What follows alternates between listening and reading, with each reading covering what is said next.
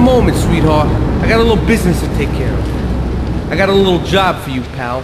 The Forelli brothers have owed me money for too long and they need to be taught some respect. Lips Forelli is stuffing his fat face in the St. Mark's Bistro, so steal his car and take it to 8 Ball's bomb shop up in Harwood. You know 8 Ball, right? Once he's fitted it with a bomb, go park the car where you found it. Then sit back and watch the whole show. But hurry up, you won't be eating forever.